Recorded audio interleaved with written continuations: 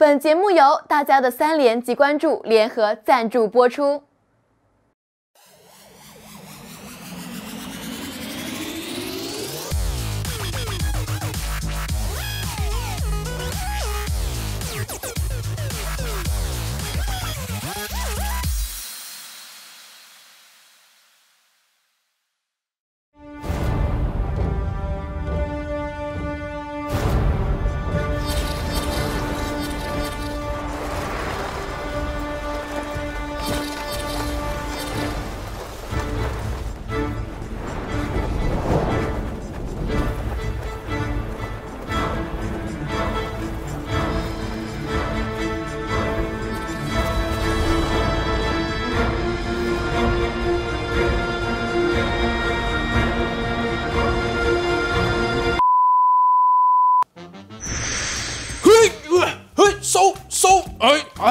哇，终于回到来了。哎，不好意思啊，各位，那春节打完以后，不知为何这箭就立马往北欧那飞了啊，摁都摁不住。那这不才刚刚回到来，哦，还带来一些土特产啊，哎哎，火山灰啊啊啊，还有还有还有，哎，那春节都看爽了吧？本次春节最让我感到惊喜的，其实是舞美，你找来了可靠供应商。专业事、专业人、专业办，饱满的灯光、炫酷的舞台、成熟的 AR、悦目的效果，比起 S 的一坨稀饭，春节的舞美简直堪称完美。那这几天，想必大家都看腻了各种集锦、回放、记录、复盘麦克风。那么，秉承尊重春节的态度啊，我打算一改往日风格，并认真、严肃、正经、专业的分析 RNG 具体获胜的原因。我听到有人开始笑了。谁啊？给我拖出去！万众期待的凤凰大战终于打响，一边是遇神杀神、气势如虹的 Fun Plus，另一边是置之死地而后生、永不言弃的 RNG。如果在开赛前要说春冠会鹿死谁手，实在难以预测。不有一说一啊，我会更看好 Fun Plus。虽然 RNG 坐拥常规赛头名，但在一般情况下，两队间的个人硬实力是有一定差距的。我没有说谎。哎，确实，从四强赛的第一轮也不难看出，整个 BO5 里 RNG 无论是输出、经济、补刀、个人评分、个人舞姿，均遭 FunPlus 全方位压制。那最终被三比零无情踹入败者组啊！但是在打完第一局后，我的想法已彻底改变。那即便这场由 FunPlus 获得胜利，但 RNG 俨然找到了赢下比赛的制胜法宝，那便是击碎 FunPlus 的野斧。赢下这盘大棋的第一步，限制流轻松。只要位置足够，瑞尔、塔姆锤石必被 RNG 按在班位上，志奇得不到趁手的辅助，加上 RNG 发现了二弟的状态问题，即便让他拿到人马和乌迪尔，也无所畏惧。FunPlus 的野辅联动便不攻自破。但这不怪小天，那如无意外，此时他应该在场下和大叔一起安心看比赛才对。少了野辅的困扰，方可实现第二步四保一。哎，不是嘎啦。是小虎，无奈转型上单和冠军上单实力差距过于明显，一个人就单杀，而两个人还能反杀。RNG 也干脆死虎当活虎一，啊两个不行，我就来四个。威也无限蹲上路，就是为了保住好基友的发育。不难想象他们之间的对话啊，应该是这样的：哥哥，哥哥，我经常来帮你，其他队友知道了不会生气吧？嗯，真好吃，哥你尝一口。哥哥，其他队友要是知道了我俩吃同一个牛骨力，他们真的不会吃醋吧？哥哥，我四保一不保 AD 只保你，其他队友知道了不会揍我吧？好可怕，你的队友不像我，我只会心疼哥哥。第三步也是最重要的一步，那就是需要在关键时刻能够站出来的人。这个人在第二局叫 Crying。前期无限发育，中期掌控节奏，后期输出爆炸，以十一杠一的完美战绩拿下 MVP。而第三局这个人叫 Gala，三分钟的时候下路二 v 二对拼，由于林伟翔出现致命失误，导致 Gala 被迫双杀。就在这一刻，隐姓埋名收剑入鞘整个赛季的 Gala 终于意识到了一件事：我可以 carry。这一炮打下去，大招这也要开，指上来杜云碧，直接开启个秒表，把他的球塞过来，大招拉了一下，拉到一个狗熊，但这波阿拉夫直接被秒，这波是爆出来的一个机会，杜云碧这边打的伤害很高，发现一直被秒掉，对面残血是被嘎啦换掉，但这波的话，RNG 的小虎也是被秒掉，嘎啦做起来了，下一个还要打，游击松，冰刀，游击一个拉开，嘎啦的直播 kill，哇，被打，嘎啦。被让一追二加五杀，FunPlus 的心态和状态都出现了不小的问题。第四局十一分钟被打团灭，十三分钟人头来到三杠十四，二十一分钟便毫无悬念的输掉比赛。最终由 RNG 拿下二零二一 FPL 春季赛总冠军，并获得了二零二一 MSI 的入场券。时隔三年，现场再度迎来金色的雨，欢迎回到 RNG 统治的年代。FunPlus 的粉丝们也不需要灰心，这个赛季他们优秀的表现是得到公认的，而且春季赛第二成绩也让 FunPlus 获得相当高的世界赛积分，对他们顺利进入 S 十一将非常有利。既然木已成舟，就要展望未来吗？但有些事情就不能这么算啊！聪明的你们应该发现本次出征仪式少了出征服啊？为什么？呵呵，问问耐克啦。但没关系，我贴心的为联盟设计了出征服。哎。别看它平平无奇啊，其实大有内涵。那首先，它采用百分百纯新疆棉制造，柔软、舒适、吸汗、耐脏。黄色代表着皇族，中间的 logo 和口号代表着 LPL。那这些都是其次，重点是背后。哎，还可以吧？那在做完节目后，我打算把这个样板寄给联盟啊，希望他们能采纳，并且量产啊。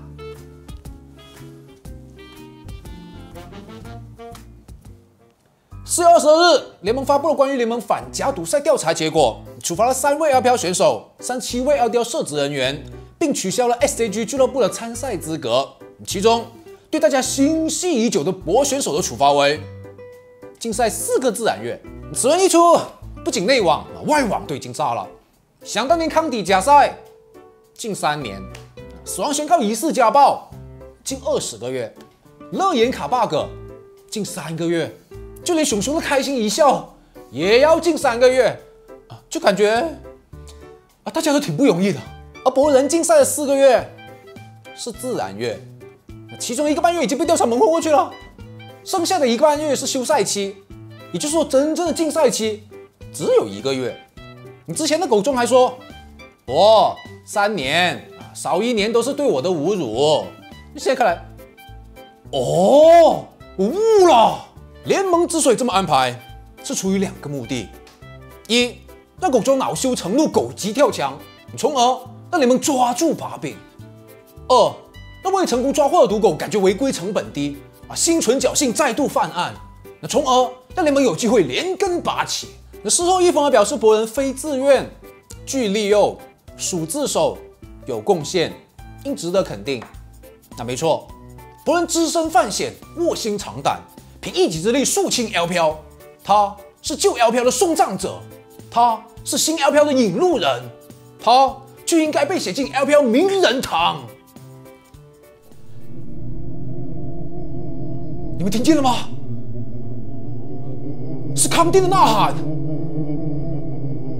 是狗逼牛逼的哀嚎，是遥远韩国监狱里撕心裂肺的惨叫。我不知道联盟听不听得见。反正这几天啊，我是睡不着觉了啊。我们不要无脑喷，还是要具体情况具体分析哦。这些我们职业联赛比赛规则中有明确的竞赛周期规定，将功补过酌情减刑，应该哦。情节严重终身禁赛也是必须的，只是不知道为什么刚好都在 LDL 而已。但四个自然月算什么？翻 pass 的六个月工资又算什么？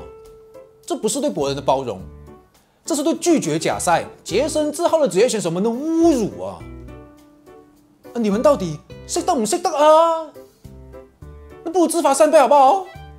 所以这个规则本身就有问题。当然，我们也并非投诉无门。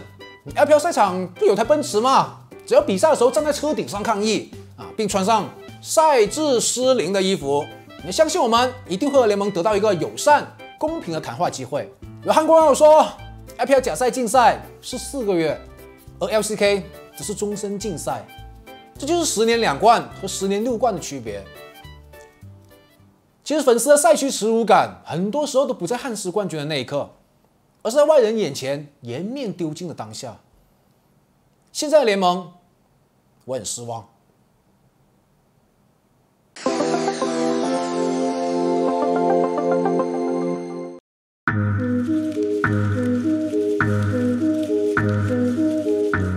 管泽元，生于一九九四年四月二十五日，北京人，别名管哥、朴泽元、管大校，香蕉计划签约艺人，LPL 英雄联盟职业联赛官方解说，斗鱼英雄联盟主播，现阶段已解说过 LSPL、G 联赛、LPL、S 赛等大型赛事。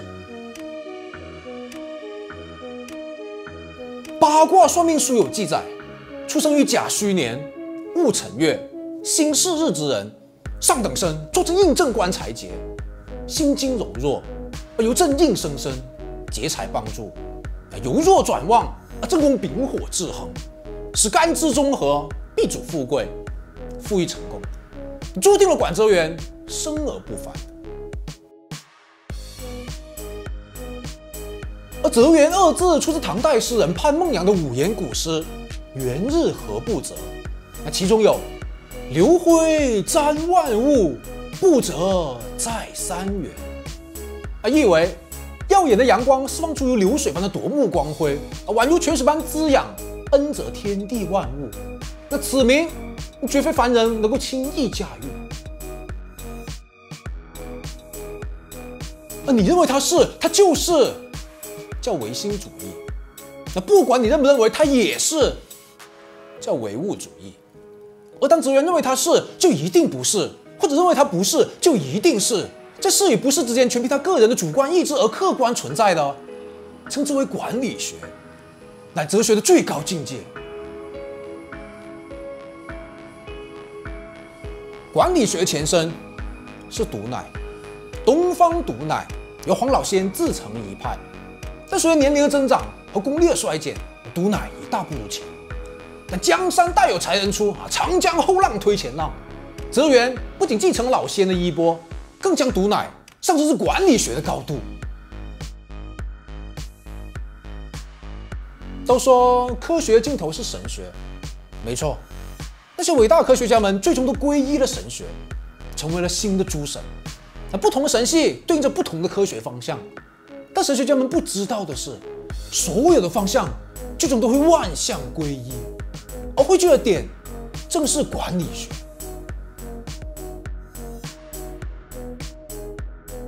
二零一九年 LPL 春季赛，EDG 对阵 SDG，管泽元捶胸手指看好国电，结果被 SDG 三比零直接送走。二零一九年 LCK 冒泡赛，King 众对阵大乌龟，管泽元预测三号种子为 King 众，结果大乌龟成为当年第三支进入全球总决赛的队伍。二零二零年 LPL 春季赛，管泽元在解说的连续五场比赛中，身后背景板的队伍全部 GG，这也是管理学首次获得五杀的高光时刻。二零二一年 LEC 春决，管泽元认为肉哥将三比零称霸欧洲，结果马德里雄狮让二追三，成为欧洲新王。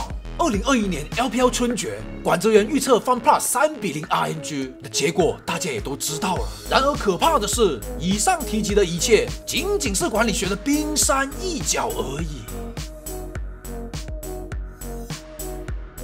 春决过后，泽元在饭局上看好 RNG 赢下 DK，此言一出，随即引起社会的恐慌，联盟、赞助、民生、商业均受到不同程度的波及。直接导致比特币崩盘式暴跌，近五十万人爆仓四百亿。但不为世人所知的是，泽元并没有把话说死。他看好的其实是积分赛阶段，大安局首秀大败，到淘汰赛再来一波 DK DK，MSI 绝对十拿九稳。哦，原来这就是管理学吗？实在是太博大精深了。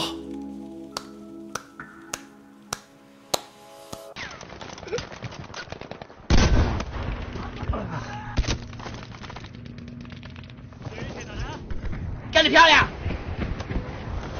大日本帝国万岁！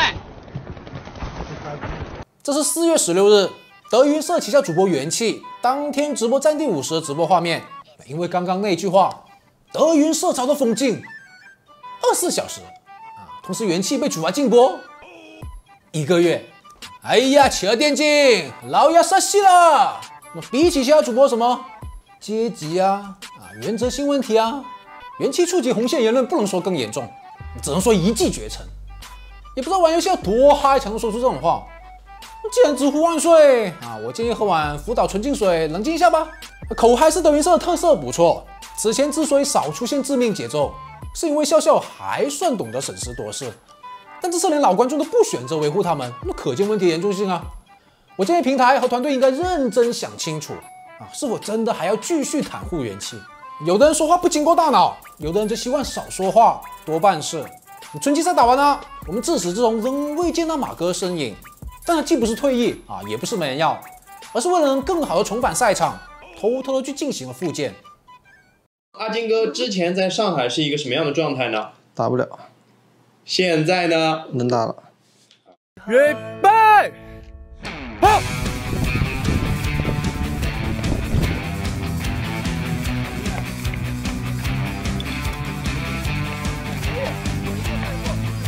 很好。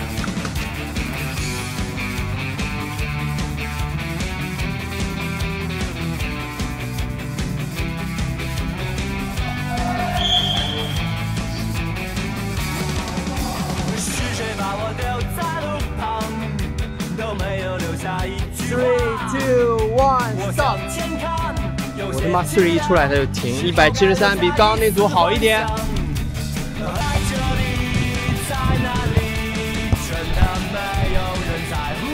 向后撅，屁股向后撅，屁股向后撅，对，控制住他。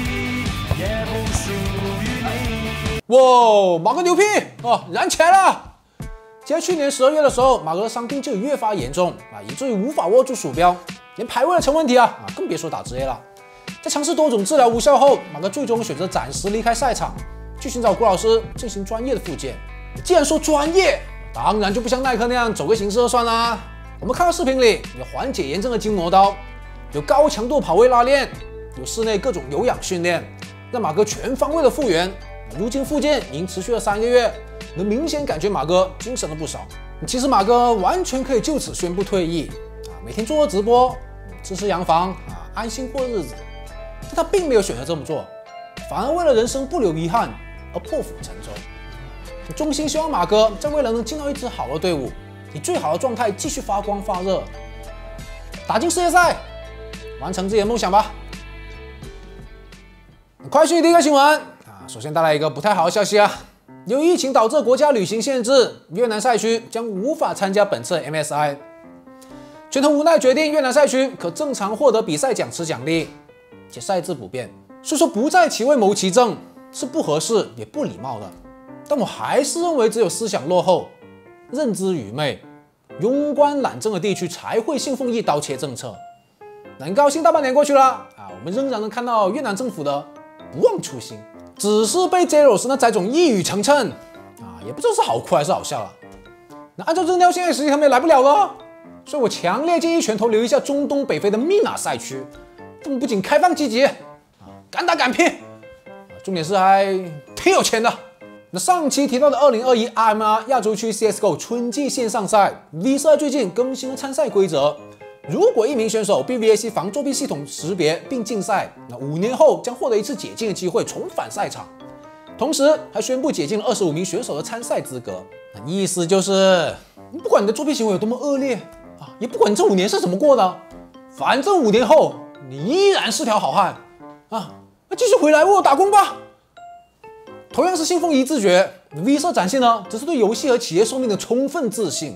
官方宣布，英雄联盟卡牌游戏《符文之地传说》将举行世界锦标赛，邀请全世界二百五十六位玩家参与，赛事奖金高达二十万美金。比赛将于九月份举行，除了职业选手，大部分名额来自赛季排位的高分路人。符文之地传说是拳头开发的策略卡牌游戏，在外服面试刚好一年。那最近在搞一周年的活动啊，没听过吗？啊，没听过就对了，这证明你是一位纯正的国内玩家观众。托版号的服，这款游戏在国内根本就没上线。守望先锋宣布游戏总监杰夫离职，创始人阿龙将出任新的游戏总监。这些年，杰夫一直在游戏机制和玩家谩骂声中苦苦支撑。他离职就像一件你失望透顶的事情，突然离你而去。都说魔兽慢性死亡，星际停止运营，炉石每况愈下，风暴彻底凉凉。沃尔三年度骗局啊！爱是新建文件夹。你站到如今守望杰夫离职，那不禁想问：暴雪曾经荣光和飘渺的未来到底在哪里呢？由于春季赛结束了，那新快报也打算稍微小憩一段时间，在五月八日左右回归，希望各位股东们谅解啊。不过大家放心，这段时间我们一样会准备无广告、无推广内容，陪大家开心度过 MSI 前的无聊空窗期。那为了能在五一假期，MSI 及未来为大家奉上精彩的节目，银河电竞决定招募新鲜的小伙伴，在视频的最后也招募了相关内容。假若你我有缘，不妨了解一下。今天就到这里吧。如果你觉得节目做的还不错，希望可以一键三连支持一下。新来的朋友可以点个关注啊，谢谢大家。最新的电新闻，最秀的赛事吐槽，这里是电竞新快报，我们下期再见。